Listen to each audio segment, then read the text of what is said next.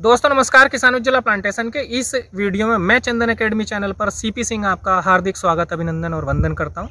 और आज एक बहुत ही अच्छी शख्सियत, बहुत अच्छे प्रदेश, हरियाणा में हम हैं। और हरियाणा का ये एक बहुत अच्छा ज़िला है, इसकी खासियतें भी हैं। और हमारे साथ इस समय दिल सर जी हैं, और ये पेशे से एडवोकेट भी हैं, और कई इनके बड़े बड़े फार्म हैं। और सबसे बड़े सहयोग करता है ये हमारे ऑर्गेनिक कार्यक्रम में, जो ऑर्गेनिक हम सरसों बुआ रहे हैं तो इनके यहाँ पे लगभग जो है वो 10 एकड़ के करीब सरसों बोई गई है जिसमें से लगभग चार एकड़ में ये यहाँ पर चंदन लगा हुआ है। तो अपने बारे में और यहाँ की जो लोकेशन है इसके बारे में बताएँगे वकील साहब। तो एडवोकेट दल सेठ जी आपका बहुत बहुत स्वागत है। धन्यवाद नमस्कार साहब। आपने हमें मौका दिया आप यहाँ आए। जी। हमें नई जानकारी मिली चंदन के पौधे के बारे में भी ऑर्गेनिक में भी आपने बहुत जानकारी हमें दी। मैं जींद का रहने वाला हूँ हरियाणा का साहब।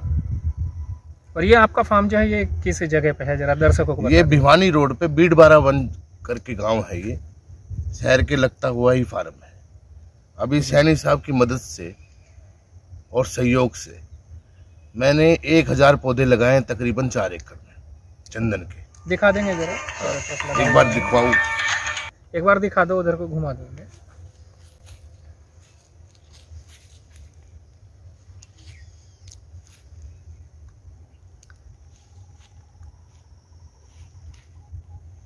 लगभग चार एकड़ है सर ये फार्म आपका? लगभग चार एकड़ है। इस चार एकड़ में इन्होंने जो है बीच में ये आप देख लेंगे सरसों बुई भी है और ये टोटल ऑर्गेनिक है।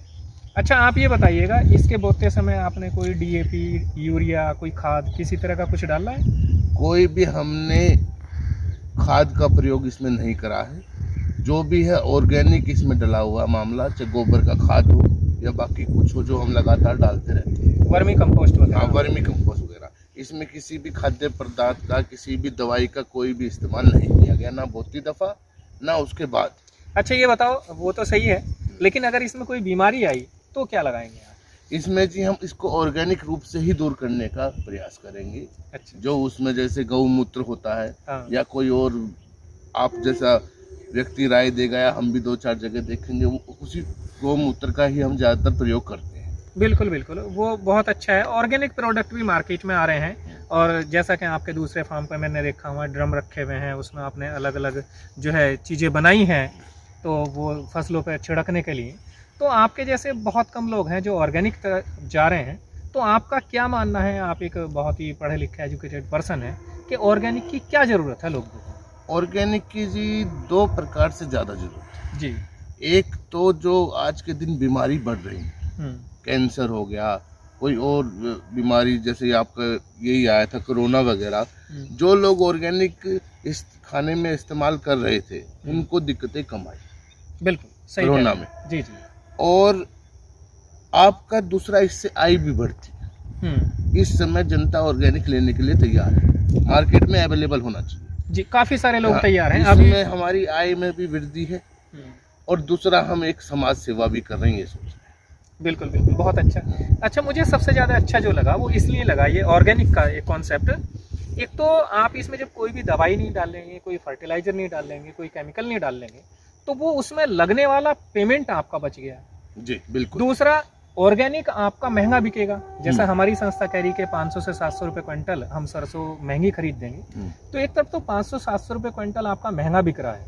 एक तरफ़ इसमें लगने वाली जो दवाइयाँ हैं जो डीएपी वगैरह या केमिकल फर्टिलाइज़र आप लगाते हैं उसका पैसा बच रहा है। तो कहीं भी मैं मानता हूँ नुकसान का तो स्थिति नहीं रहेगी। बिल्कुल कोई नुकसान की स्थिति नहीं रहती साहब। जी। करने की इच्छा दृढ़ होनी चाहिए।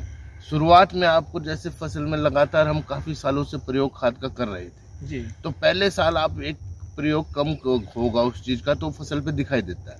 अब मैं पाँच सात साल से कर रहा हूँ। जी। परंतु अब उस फ़सल पे उस चीज़ का कोई असर नहीं दिखेगा कि ये दबाव में है। क्योंकि वो हमने फिर ऑर्गेनिक गोबर खाद और ऑर्गेनिक जो भी था वो हम्म। मटेरियल हम केचुआ खाद ये सब डालते रहे। जी। तो अब ज़मीन में पूरा इस समय बिल्कुल प्रॉपर वही पैदावार दे रही है जितना खाद डालने के बाद दे रही है। बिल्कुल शुरुआत में तो दिक्कत हुई। जी जी।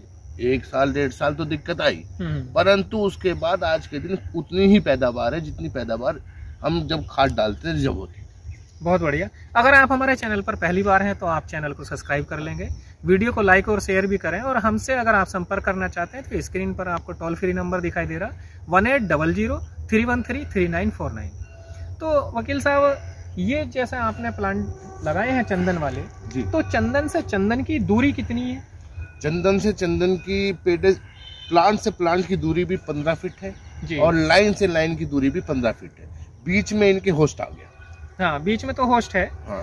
तो ये प्लांटेशन हमारी संस्था ने वकील साहब के यहाँ पे करवाया है। किसान उज्ज्वला प्लांटेशन से काफ़ी दिन से जुड़े हुए हैं। और मैं तो धन्यवाद करना चाहूँगा ऐसे किसानों का जो और लोगों के लिए भी मार्गदर्शक हैं। और बहुत सारे लोग इस बात को कहते हैं कि हम इस तरह से इसमें कोई खेती नहीं कर पाएँगे कोई फ़सल नहीं ले पाएँगे। ऐसा नहीं है आप चंदन लगाएँगे तो आप और भी इसमें पेमेंट कमा सकते हैं। और वकील साहब एक क्रिएटिव सोच के पर्सन हैं। तो और क्या क्या लगवा दिए हैं आपने इसकी इसमें मैंने जी उस इधर दिखाइए। जी। जो वो वाली डोल है उसमें तो आपका प्लांटेशन है। जी। इस डोल पे नीचे आलू लगा हुआ है। अच्छा। आलू लगवा दिया है और आलू के ऊपर मूली भी लगवा दी है। अरे साहब बहुत बढ़िया। हाँ। तो आपको डबल बेनिफिट होगा। एक तो इसमें आपने कोई फर्टिलाइज़र कोई केमिकल नहीं लगवाया। बिल्कुल नहीं। तो ये जो सब्ज़ी इससे उगेगी सब्ज़ी भी ऑर्गेनिक रहेगी। ऑर्गेनिक रहेगी साहब। सब्ज़ी भी ऑर्गेनिक रहेगी और इसके अलावा सरसों भी ऑर्गेनिक कर रहे हैं। तो आपने ये कई तरह के फ़सलें इस खेत से आप ले रहे हैं। अभी ये साहब शुरुआत है आगे मेरा जो विचार है जी। मैं हर प्रयोग करना चाह रहा हूँ कि गाजर भी लगाऊँ अगली बार सारी चीज़ क्योंकि इस बार तो प्लांटेशन होना था जी। तो समय कम था। हम्म, तो इसमें तो अगर हम हंड्रेड परसेंट समय दे दें तो इसमें हम इतनी आमदनी ले सकते हैं कि आम किसान बेचारा सोच नहीं पा रहा है। जी जी। क्या है कि इसमें आपके पेड़ भी हो जाएँगे ये पेड़ भी चलते रहेंगे। अच्छा ये जो इस पर कवर लगाया गया है तो जैसे हमारी संस्था से लोग बाग कल से इसमें मेहनत कर रहे थे दो तीन दिन उन्होंने इसमें ये लकड़ियाँ लगाना और ये करना। तो क्या आपका मानना भी है सर्दी में इसको ये बेनिफिट देगा या ये केवल संस्था का दिखावा है? ये दिखावा नहीं है साहब दिखावा मैं नहीं मानता क्योंकि जो पाला पड़ता है ओस पड़ती है। छोटे पेड़ को उसका नुकसान होता ही होता है। जी जी। जो आप लोगों ने कवर कर दिया है उसको इसके अंदर से रोशनी भी इसको मिल रही है। हाँ सनलाइट प्रॉपर सनलाइट की भी कमी नहीं होगी और उस, वो पाले से भी बचाएगा। तो इसका पूर्ण रूप से फ़ायदा होगा संस्था का मैं नहीं मानता कि कोई दिखावा है। और बल्कि मैं आपकी संस्था का धन्यवाद करना चाहता हूँ जो सहयोग आपने मेरा यह प्रेजेंटेशन करने में किया।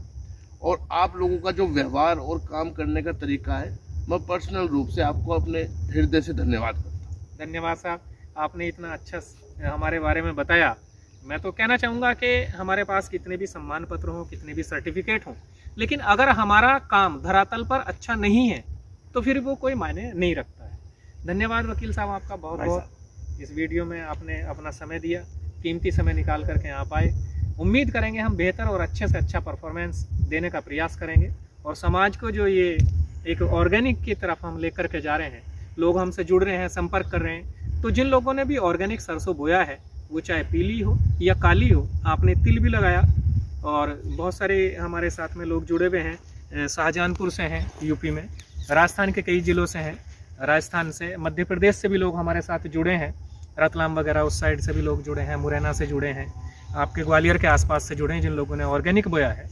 और ख़ास करके मैं बताना चाहूँगा आपको कि यहाँ पर निगरानी के लिए कैमरा भी लगवाया गया है। कि जिससे केवल हम कह रहे हैं, कहने का नहीं है, कोई भी व्यक्ति आकर के यहाँ पे रिकॉर्डिंग भी देख सकते हैं कि इसमें किसी भी समय कोई भी फर्टिलाइज़र कोई भी ऑर्गेनिक के अलावा कुछ और लगाया नहीं गया है। आप लोगों ने वीडियो को देखा, इतना समय अपना दिया। दर्शक ही हमारे लिए बहुत बड़ी सपोर्टर हैं सपोर्टर लॉबी है हमारे लिए। आपका बहुत बहुत धन्यवाद। नमस्कार।